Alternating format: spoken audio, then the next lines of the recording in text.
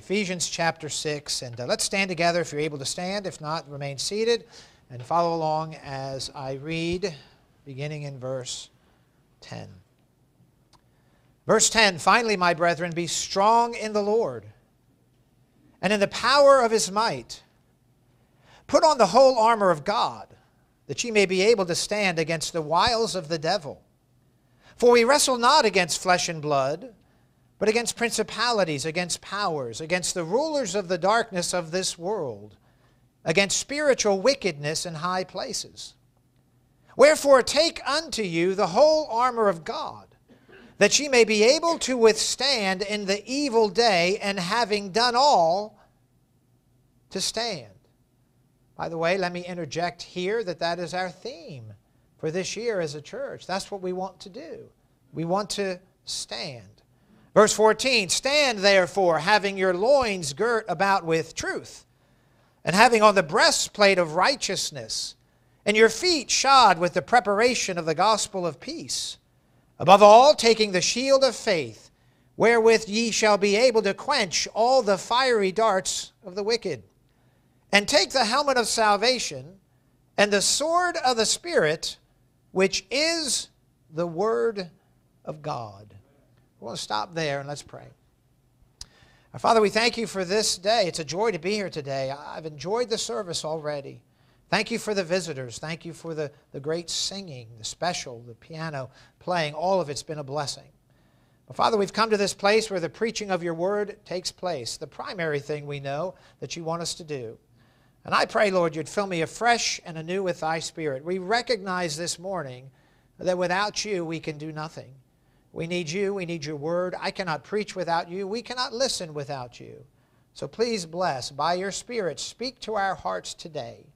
I pray if there's someone here this morning that does not know Jesus Christ as their Savior, that you would bring great conviction upon their soul. Help them to realize that they need to be saved this morning and how it's a free gift for all and anyone who believe.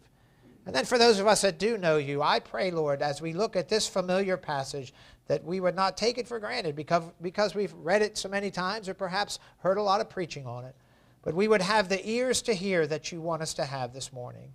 We pray that all things today would bring glory to thee, and especially this message. May your word have free course, and we ask your blessing now in Jesus' name. Amen. Thank you. You may be seated.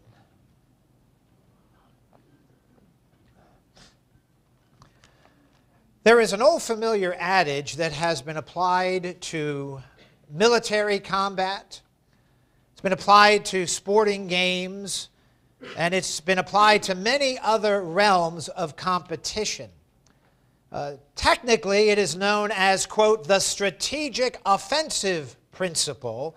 And it goes like this. You've heard it before. As I begin to say it, you could probably finish the sentence. The best defense is a good. Well, you've heard it before. And that's true.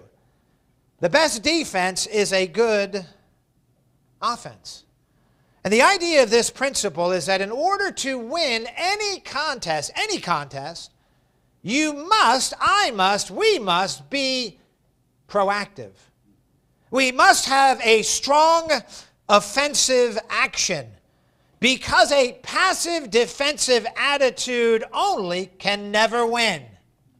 Never. It will never do the job.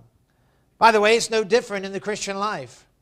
And that is what the Apostle Paul is speaking of here as we deal with this next piece of the armor. You see, we're continuing our journey through this book of Ephesians, and the book of Ephesians is a letter, of course, written, penned by the Apostle Paul to a church. To a church, the church at Ephesus. Of course, we read of this church in the book of Acts, uh, uh, chapter 19 and 20. We read of it in the book of Revelation and in Revelation chapter 2.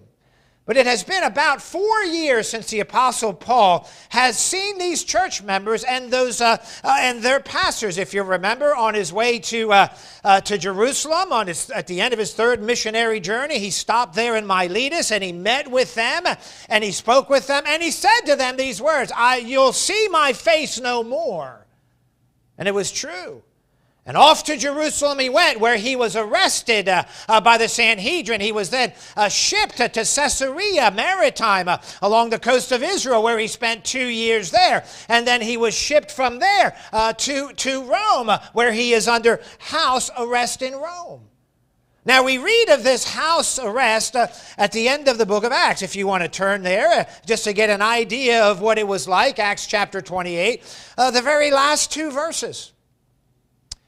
We read, and Paul dwelt two whole years in his own hired house, Acts 28 and verse 30, and received all that came in unto him, preaching the kingdom of God and teaching those things which concern the Lord Jesus Christ, with all confidence, no man forbidding him. And that's how the book of Acts ends.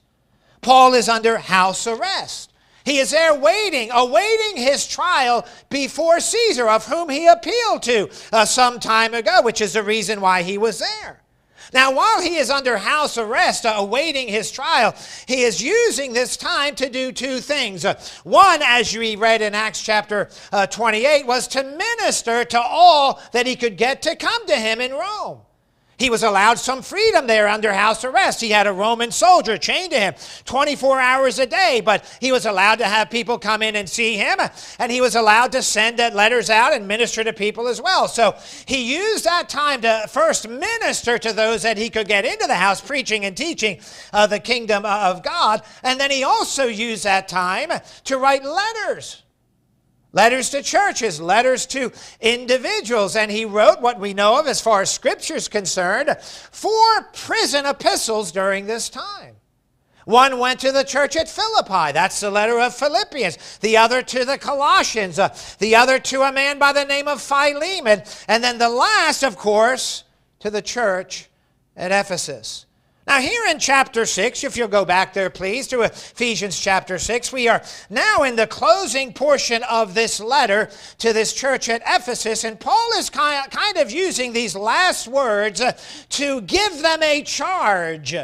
Uh, to tell them to stay uh, strong. Uh, uh he, he's telling them to continue to be strong and to stand. Notice Ephesians chapter 6 and verse 10. I already read it. Finally, my brethren, be strong in the Lord and in the power of his might. Ephesians 6:13, I read it again. We read, "Wherefore take unto you the whole armor of God, that ye may be able to withstand in the evil day, and having done all to stand, stand therefore." But then he also reminds them in this passage that there is only one way that any of them, any of us, any believer is going to be able to stand in the evil day. There's only one way. And that is for us uh, to put on the whole armor of God. Now, for the past several weeks, we have been looking at all of these pieces. My wife had mentioned to me last week, you should have made a shield when you were talking about the shield and brought it up. A couple other people said the same thing. I thought, well, that's great. Why don't you do it next time? But anyway, I got nothing else to do but to cut out cardboard, let me tell you. But anyway, uh, we're talking about this armor. We went through these six pieces, and, and we saw the belt, if you will, when he in uh, in verse uh, 14. Stand therefore, having your loins girt about with truth. That is the belt of truth. We talked about the breastplate of righteousness in verse 14 as well. We talked about those shoes in verse 15, your feet shod with the preparation of the gospel of peace. And then in verse 16, we see the shield of faith. Above all, taking the shield of faith, wherewith ye shall be able to quench all the fiery darts of the devil. Uh, last week we looked at the helmet uh, of salvation uh, uh there. And then this week we're looking at this sixth and final piece, arguably. Some would include prayer there. I'll deal with that in a different way. But we've come to this final piece, and notice what it is at the end of verse 17. He says, And the sword of the Spirit, which is the Word of God. This morning I want to preach on this subject stand, taking the sword of the Spirit. What is this sword he's speaking of? Well, he tells us. I'll give you some more details.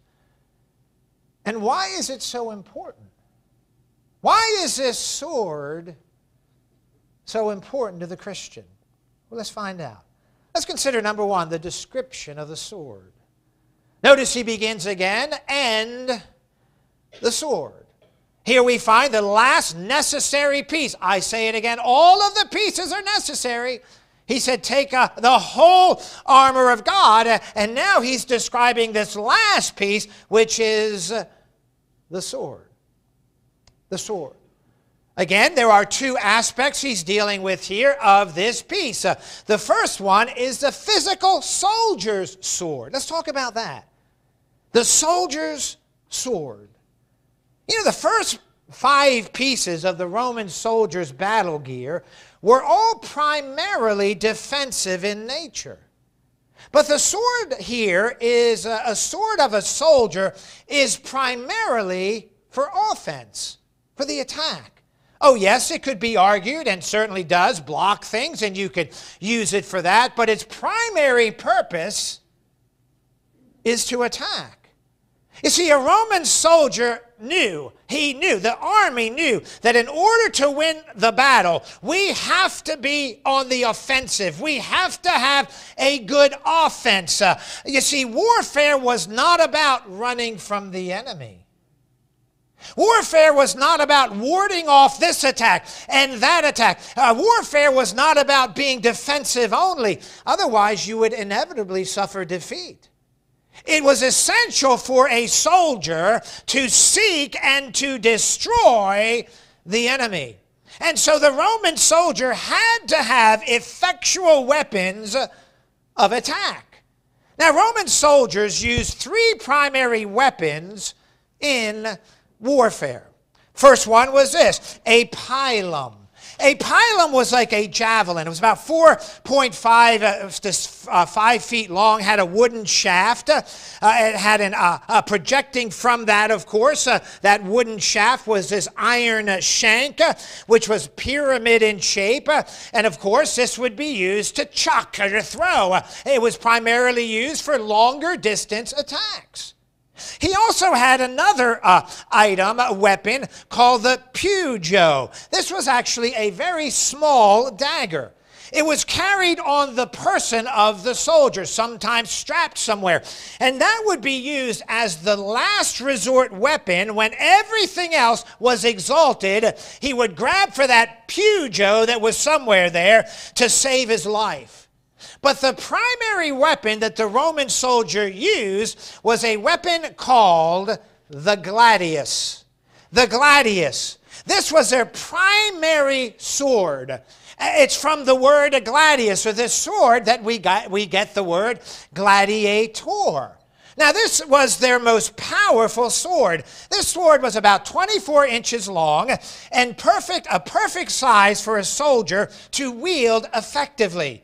They would make sure that this sword was razor sharp. It was actually double edged. Uh, it was ideal for hand to hand combat, all of the hand to hand combat that they faced, and it would kill the enemy in an instant uh, uh, if it was used skillfully. Uh, this gladius, uh, this sword that Paul is talking about here was the soldier's most effective weapon. That's what he's referring to. Imagine how he's there as he's there under house arrest, looking down the soldier's gear, and he gleans his eyes, if you will, glares at that sword as he's penning these words, and he's talking about this sword of the soldier. But then he not only goes from the soldier's sword, he goes to the saint's sword, because he says this again in verse 17, and the sword of the Spirit, which is the Word of God. So he goes from the physical sword of the soldier and makes a spiritual application here, and he tells us exactly what the Christian soldier's sword is. You and I are given a sword as well. You know what it is? It is our spiritual weapon, and he tells us here that it is the Word of God. It is the Bible. By the way, for English speaking people, that would be our King James Bible. And by the way, this weapon is better than any Roman soldier's sword. Uh, read of Hebrews chapter 4 and verse 12. You know the verse. For the word of God is quick and powerful. Watch this. And sharper than any two edged sword, piercing even to the dividing asunder of soul and spirit, and of the joints and marrow, and is a discerner of the thoughts and intents of the heart. Now understand something. As believers, we are not engaged in a physical battle. That's not what our battle is. We are engaged in a spiritual battle. Uh, notice verse 12. I read it. Paul uh, makes light of this uh, in verse 12. For we wrestle not against flesh and blood. Our battle is not against flesh and blood. We're not trying to beat people up or kill people physically. That's not what it's about. It's against, notice, principalities, against powers, against the rulers of the darkness of this world, against spiritual wickedness in high places. So understand, since we are in spiritual warfare, that requires spiritual weapons. And the one and only weapon that God has given to us is the Word of God. By the way, it's the only weapon that we need. It'll do the job. 2 Corinthians chapter 10 says this For though we walk in the flesh, we do not war after the flesh. For the weapons of our warfare are not carnal, but mighty through God to the putting down of strongholds. Watch what this does casting down imaginations and every high thing that exalteth itself against the knowledge of God, and bringing into captivity every thought to the obedience of Christ. This is our weapons, uh, our weapon as an individual Christian, and it is our weapon as a church. You see, a church doesn't need to come up with innovative ideas. We don't need more programs. We don't need new programs. We don't need bigger buildings. Uh, we don't have to be on the cutting edge of technology. We're not here to entertain people. You see, the greatest thing that a church can do is to be committed to faithfully preaching and teaching the Word of God. Because it is the Word of God is the weapon that will win every single spiritual battle.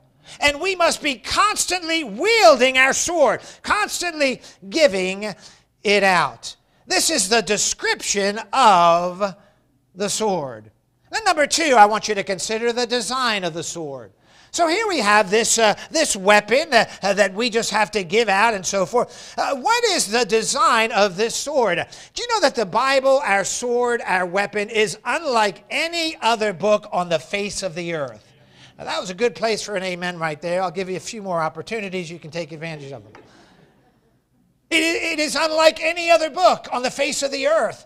Understand something. If you are holding your King James Bible in your hand, then you are holding the inspired, preserved words of God for English speaking people right here in your hands. Imagine that for a moment.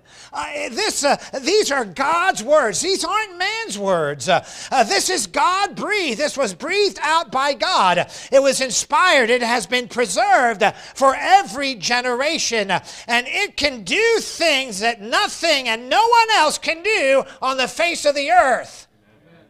But do we believe that? By the way, this book's better than a 10 step program. This book is better than a therapy session. Uh, this book is better than some psychobabble book you're going to read. Uh, this book can do things that, that pills cannot do, uh, that religion cannot do. Uh, only the Spirit, the sword of the Spirit, can do it. It's a powerful, powerful book. I want us to think for a moment here as we think of the design of the sword. Some of the things, and there's so many, I'm just going to speak of a few here, so many that the sword of the Spirit does. First of all, number one, it saves souls. 1 Peter chapter 1 and verse 23, being born again, not of corruptible seed, but of incorruptible. Watch this. By the word of God, which liveth and abideth forever. Do you know that the only way that a person can get saved is through the Word of God? That's it. There's no other way. I'll say it again. Being born again, not of corruptible seed, but of incorruptible by the Word of God. You see, nobody can be saved without hearing and believing the Word of God. There is no other way. They must hear it being spoken. They must hear it being quoted or preached or taught or read it in printed form. There is no other way for a person to get saved unless they hear the gospel which is contained in the Word of God. You see, religion will not get anybody's sins forgiven nor give them a home in heaven. Uh, good works won't do it. Obeying the Ten Commandments will not do it. Joining a church will not do it. Uh, just simply believing in God will not do it. They must, people must, uh, hear that they are a sinner destined for hell. They must hear that Jesus Christ died for their sins, was buried, and rose from the dead. They must believe that there's no other way to heaven. I am the way, the truth, and the life. No man cometh unto the Father but by me. And they must repent of their sin sin and trust Jesus Christ as their Savior, and then they are born again or born into the family of God. You see, it's when they hear and believe the Word of God that their soul will be saved. I remember when I used to watch growing up, we would watch football games sometimes, and and uh, I'd see someone kicking a field goal, and behind that field goal would be someone holding a big sign, uh, John 3.16 or John 3.3, and I always looked at that and said, I wonder what that is. I don't, I don't know what that is. Well, it's simple. It's a Bible verse. You see, they understood that you just have to hear it, see it, read it, whatever, and believe it. It's the Word of God that will do the work. For God so loved the world that he gave his only begotten Son, that whosoever believeth in him should not perish, but have everlasting life. Uh, you see, that is a message that the world needs to hear, and it is found in the Word of God, and this book can save a soul. Amen. So it saves souls. There's another thing it does. Number two, it strengthens the saints. Romans 10 17, so then faith cometh by hearing, and hearing by the word of God. How does a believer get strong spiritually? It's real easy by hearing and heeding the word of God. It's that simple. So many people say, Well, I wish I had more faith. I wish I was a stronger believer. I wish there was some way I could just be a better Christian. You can, and so can I if we just immerse ourselves in the Word of God, because it is the Word of God that will build you up. Acts 20 and verse 32. And now, brethren, I commend you to God and to the word of his grace, which is able to build you up. I remember years ago, I think I told you this story. We were saved in Mainland Baptist Church, and I was uh, just had some questions about child rearing. And I, and I, and I, I think uh, as I was walking out of the church, Pastor Bolt was there, and I, I thought, you know, I, I want to ask him a question. So I said, Pastor Bolt, what is a, what is a good book on, on child rearing? Here's what he said the Bible. I said, point taken. I get what you're saying. you know, I'm sitting there thinking, just I need a book. I need some kind of solution. I need something out there that will help me. And by the way, many of you are like that. It's the Word of God that will do it. It is the Bible that will strengthen uh, the, the, the saint. This is what it does. Uh, it's going to make you strong. It's going to build your faith. Uh, it's going to make you grow as a Christian. It will give you the boldness that you need. Why? This is what the sword of the Spirit does. It saves souls and it strengthens the saints. There's a third thing it does. We're talking about the design of the sword here. It also sends conviction. I want you to go over to Acts chapter 5 quickly. Acts chapter 5. You know the story here. Peter is preaching. We have his fourth sermon here in the book of Acts. Uh, of course, uh, Ananias and Sapphira just co- committed that sin in uh, chapter 5 at the beginning. And of course, uh, uh, many people, as Peter preaches, get, get saved. And I want you to notice Acts chapter 5 and verse 23. Then Peter and the other apostles answered and said, We ought to obey God rather than men. The God of our fathers raised up Jesus, whom ye slew and hanged on a tree. Him hath God exalted with his right hand to be a prince and a savior, for to give repentance to Israel and forgiveness of sins. And we are witnesses of these things, and so is also the Holy Ghost, whom God hath given to them that obey him. Notice that short sermon he preached to the Sanhedrin. But notice what happens in verse 33. When they heard that, what did they hear? The word of God they were cut to the heart and took counsel to slay them. That's what the sword of the Spirit does. It sends conviction. You see, the Bible does something that we don't like. It shows us where we're wrong. It exposes our error. It reveals our sin. It calls things what they truly are with Bible words like sin, not problems or shortcomings or bad habits. calls them sin. Fornication, not cohabitation or living together. Uh, murder, not abortion. Uh, adultery, not an affair. Uh, sodomite, uh, not gay or queer. It's a sodomite. Uh, not, a, uh, not an alcoholic, but a drunkard. You see, the Bible uses strong words. Biblical words are always strong because they're God's words. Words like wickedness and backbiting and tale bearing.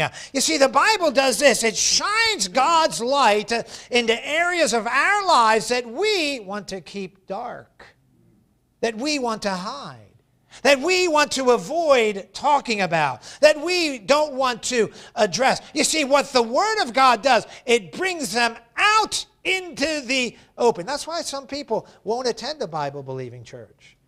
I remember I've talked to several people who've got, uh, uh, when I visited them after coming to our church, and they said, You know, wherever, whenever I come to your church, I always feel guilty. And I say, Well, why do you think that? May, and I didn't say this to them. It was a visit, you know what I'm saying? Maybe later. I said, Maybe because you're, I'm thinking, maybe because you are guilty. If the Bible says something and you're guilty, and by the way, that's a good thing because God's trying to help us to grow in the grace and knowledge of the Lord Jesus Christ. That means there's some things in our lives we got to deal with. We have to get rid of or add to, whatever the, the case may be. But this Bible shines the light on all of those things. That's why we read in John chapter 3 and verse 20 For everyone that doeth evil hateth the light neither cometh to the light, lest his deeds should be reproved. You see, it boldly tells us things that many people don't want to hear. It tells us of a real burning eternal hell. It tells us of the vanity of self righteousness or religion to get us to heaven. It tells us about the hopeless humanity uh, without Jesus Christ. But it also tells us on the other side of the coin of a loving Savior who will do what only He can do, and that is to forgive us of our sins, to save our wretched souls, uh, and help us in our lives. Uh, tells us all of those things. You know, it's a book when merely read can bring people to tears. I remember one time we were out witnessing it in uh, Chester Springs when we were going to Landmark Baptist Church, and I was knocked on the door of a, a girl, and, and I told her we're from Landmark Baptist Church, and I wanted to give her a tract. She didn't want it. And she kind of whispered, she says, I'm Jewish. She said, My whole family is Jewish. I can't take that. I said, Well, do you believe the Bible? She says, Well, yeah. I said, Could I just read you a couple verses. I won't take long. Could I just read you a few verses? She said, okay, go ahead. So I started to read to her the Romans Road. I went through that, how, how she's a sinner, you know, all of sin and comes short of the glory of God. As I'm just reading God's word, she's starting to tear up, and they're rolling down her face. He said, Preacher, you were being mean to her. No, I wasn't. That's the power of the Word of God. How many times have you and I been sitting in a service and the preaching of God's Word has so touched our hearts that our eyes begin to well up because it's the Spirit of God using the sword of the Spirit in our hearts to convict us of something that needs to be dealt with? It's a powerful book. Uh, I, I don't know anybody that, uh, that started crying when someone read Tom Sawyer to them or Huckleberry Finn or something, you know. But oh, I know someone in a novel that I know what you're talking about. I'm talking about conviction, though, here. I mean, it can break your soul. It can crush you, if you will. And even it can even do this, as we saw in Acts chapter 5. It can stir up the deepest anger in man. You ever see somebody get angry when you start talking about the Bible? They do. I've seen people I never thought would get angry at me. All of a sudden, it's like the Dr. Jekyll and Mr. Hyde. I mean, peachy keen until you say, hey, something about the Bible. Could I show you from the Bible? How to be I don't want to hear about that. My point is this it's a powerful book. That's what the Bible is. And again, uh, no, no book on earth has been both loved and hated by so many people because of the conviction it produces. So it saves souls, it strengthens the saints, it sends conviction. Then number four, it also solves problems. You know the Bible is God's answer to all of our problems? Amen. It is. You say, preacher, you're being a little bit too simplistic. I don't think so. All scripture is given by inspiration of God and is profitable for doctrine, for reproof, for correction, for instruction in righteousness, that the man of God may be perfect, truly furnished unto all good works. That tells me that's all I need. That's it. I don't need anything else. If I have an issue, it will help me through it. By the way, it'll solve this world's problems. It'll solve our nation's problems. It'll solve your family problems. Uh, if you have a, are having problems with your spouse or your children or your relatives, it'll even solve in law problems. Man, that's a powerful book right there, amen. It'll help you if you're discouraged today. Uh, it'll help you if you're in, uh, uh, experiencing doubt today. If you have a disagreement with someone, uh, it will help you. Uh, by the way, you want to unite a church? It's really simple. Just agree everyone to submit to the Bible. That's where perfect unity comes from. It's, oh, let's just love and put all the differences aside. That's not going to do it. It's when we agree to unite under the preaching or with the teaching of God's word. That's how you get unity. It will solve the problems. By the way, you need wisdom. God will give it to you. If any man lack wisdom, let him ask of God, that giveth to all men liberally and upbraideth not, and it shall be given him. This book will show you how to have a blessed marriage. It'll show you how to raise your children. It'll show you who to marry and not to marry. It can direct you to what school to choose, uh, what music to listen to, what's right dress and wrong dress, what is the right church to attend and a wrong church to attend. And it'll show you why the cults are wrong. Uh, the Bible has all of that. It instructs us in all of life. And then there's one more thing that, the, that, the, that does, it does, and that is this. Uh, fifthly, it stops temptation. So it saves souls, strengthens the saints, sends conviction, solves problems, and it stops temptation. You know, we're living in a world that's filled with temptation. I mean, there is just all kinds of things around us tempting us. How do we deal with it? How do we get the victory over it? Well, you pick up your bootstraps and you just try really hard. That's not how you do it. Psalm 119 in verse 11 Thy word have I hidden my heart that I might not sin against thee. Can I ask you something? You're struggling with something in your life? Do you know the sword of the Spirit's your answer? It's your answer. How did the Lord Jesus Christ, go over to Matthew chapter 4, and I know these are all familiar verses, but we, I need this today, so you can just enjoy or listen while I'm, I'm preaching to myself. Amen. Matthew chapter 4. Look at the example of the Lord Jesus Christ. In verse 1.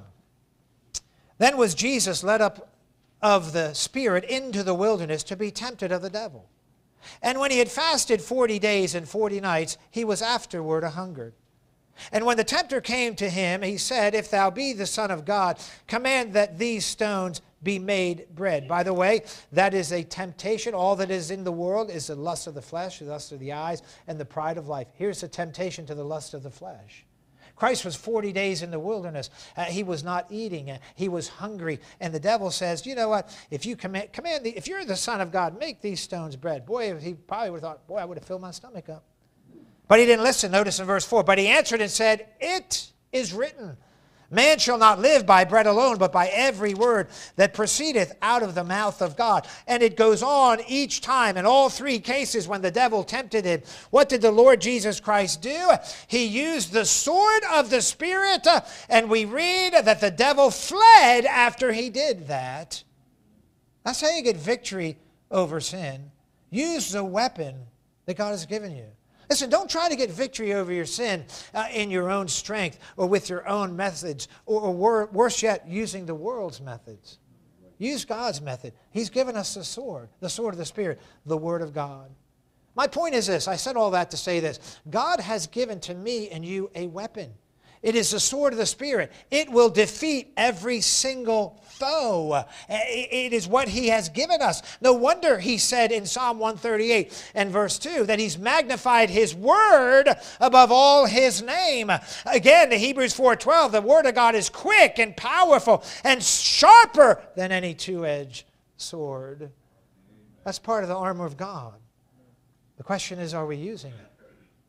So we see number one, the description of the sword. We see number two, the design of the sword. It saves souls. It strengthens the saints. It sends convictions. It, it's conviction. It solves problems. And it stops temptation. And then number three, and finally, let's talk about the duty of the soldier. The duty of the soldier. Do you know that Roman soldier's sword was a powerful weapon? It was designed specifically for him to use and to wield But understand something its effectiveness was dependent upon the person wielding it. Think about that for a moment. You see, if a, the soldier never used his sword, if the soldier didn't know how to use his sword, or he was incompetent in using his sword, or he didn't continually train with his sword, it would do him very little good. You see, we have a perfect sword, though, don't we?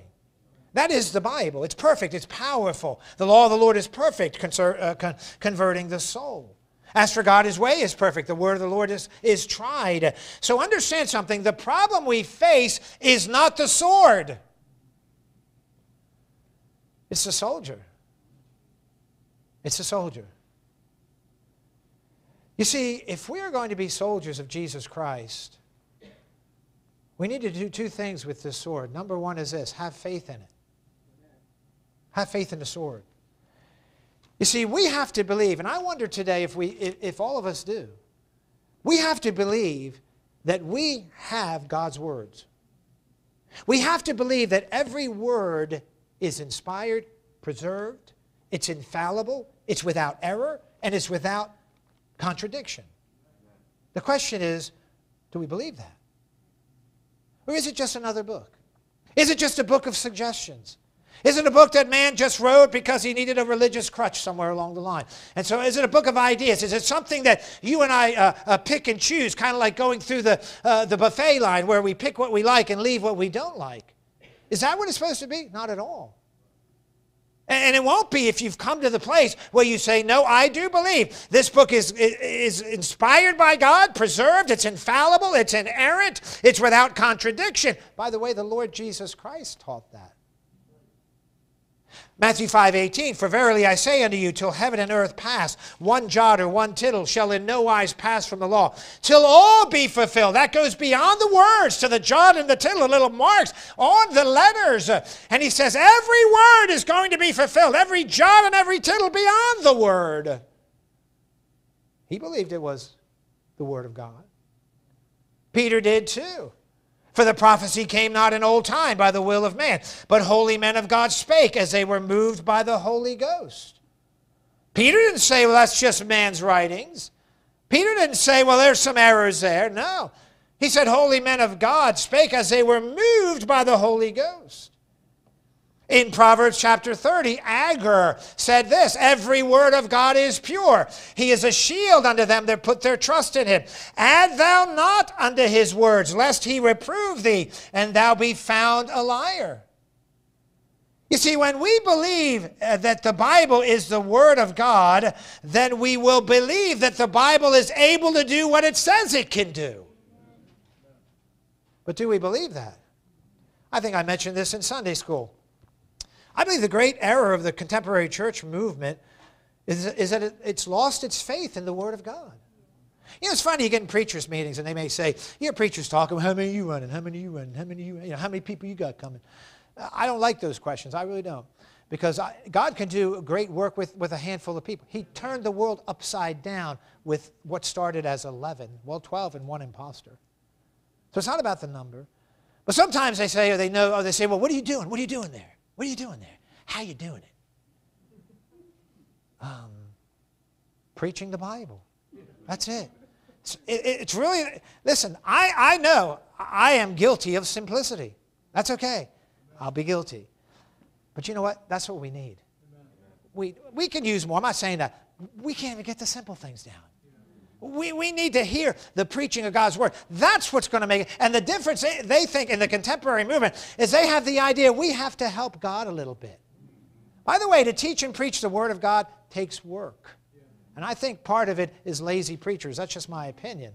They just don't feel like working and studying and getting out something so the people can have a meal, if you will and so they just throw something out. Uh, no, no, no. The main thing for me to do is to preach the Word of God and pastor the people. Those are the two things I'm supposed to do.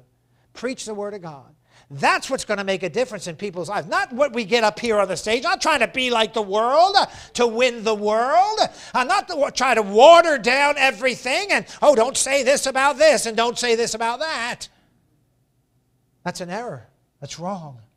We have to have faith in God's Word that his word as it's preached can do the work. By the way, it's not always a microwave church that God produces with his word. In fact, it's not. It's a crockpot church.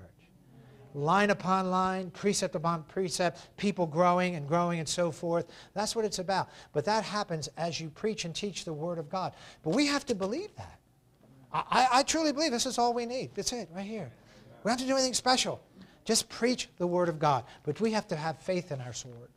And then the second thing is this we have to be able to operate our sword. Can you operate it?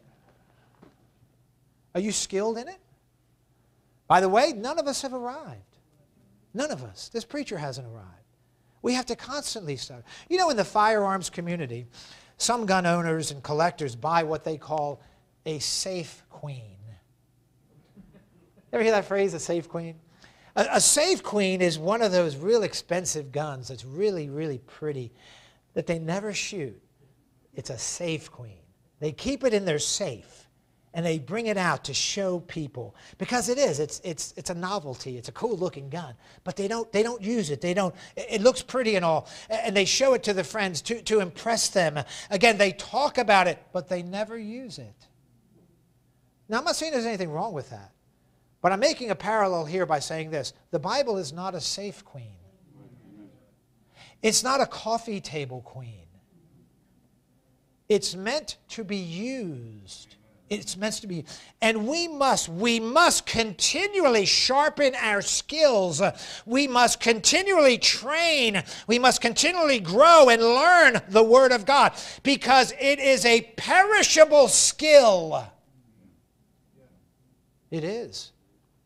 You don't work it, you're going to lose it. You're going to lose it. By the way, that's what happened in Hebrews chapter 5. Let's go there, and I'll be done right here. I know, I know your crock pot is telling you that the, the, the lunch is ready. Hebrews chapter 5, and we're done right here. Look at verse 11. Of whom we have many things to say, talking about Melchizedek and hard to be uttered, seeing, notice, ye are dull of hearing. He's writing to believers. For when for the time ye ought to be teachers. I wonder if there's some people here today. You've been saved long enough. You should be at the place where you could teach the Word of God, but you're not. Something's wrong. Ye have need that one teach you again, which be the first principles of the oracles of God, and are become such as have need of milk and not of strong meat. For everyone that uses milk, notice, is unskillful in the word of righteousness. That tells me God wants us to be skillful in the word of righteousness. He doesn't want us to remain babes. We all start as babes, as newborn babes. Desire the sincere milk of the word that ye may grow thereby. Yes, we all start out as babes, but we must not stay there. Strong meat belongeth to them that are full age, even those who by reason of use have their senses exercised to discern both good and evil. Here's the problem. I said all that to say this. The truth of the matter is, many Christians do not seriously study their Bible. It's true. I can't tell you, 100, and it still rings true, 100% of the time when I have counseled someone, and I've done a good amount of counseling, one of the first questions I've asked them is, I ask them is this, are you reading your Bible and praying every day? Every single time that someone's had a problem, they say, well, not every day. That's just reading it. That's just reading it. That's not studying it. That's not, that's not trying to learn. Very few Christians uh, continually train. Very few Christians uh, spend time sharpening their skills. Somehow uh, we get this idea uh, that my chronology of my salvation uh, equals the spirituality of my salvation. It does not. You can be saved for 50 years and still be a babe in Christ if you haven't sharpened your sword. If you haven't learned how to use it. You see, a few moments in the Word of God each, mor- each morning will not cut it. It won't. I wonder how many of us could, if someone asked you, show me a couple verses on the deity of Christ. Could you find them? Or the reality of hell. Could you find them? Or how to refute a Calvinist. Could you do that?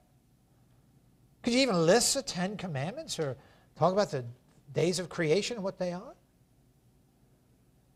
Most Christians, when they see a Jehovah's Witness or a Mormon coming to their door, they lock the door and put the blinds down and hide.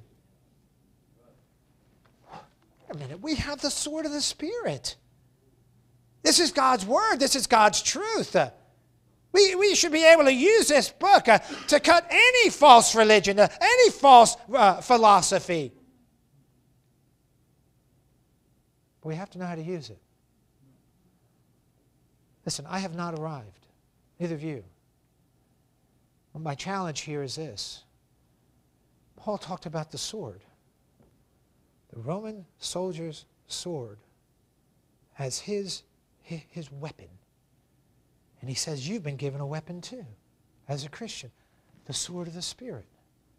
Its design, it's, it's quick and it's powerful and it's sharper than any two edged sword.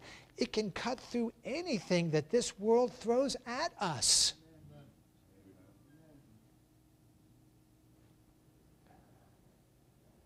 But it's not going to do it by itself. Go get them. It's like me putting a sword there and saying, go get them. I got to learn how to do it. Anybody in the military knows you have to train. Anybody that has any skill, whether it be a piano, a violin, an instrument, anything, understand you have to train, and not just once.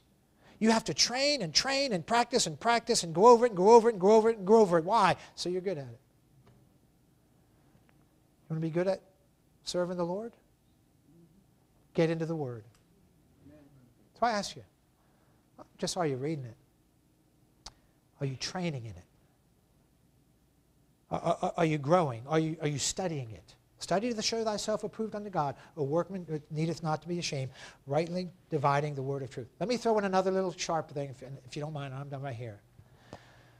In this generation, we have more tools to study the Bible than any other generation in history. We have people that have studied the Word. We have Strong's Concordance. We have all these books. We have computer programs. You can do a Bible search in a second if there's anybody that ought to know the Word of God better than any generation, we have the complete Word of God. It should be us. Guess what? Guilty. Well, the world is just so bad and I can't. Stop. Sharpen your skills. Get confidence in the Word of God. And get out there and fight the fight that God left us here to fight. That's why we're losing. Because our sword's in our, in our sheath. We're not sharpening it. We're not practicing with it. We must if we're going to stand. Amen. Let's pray.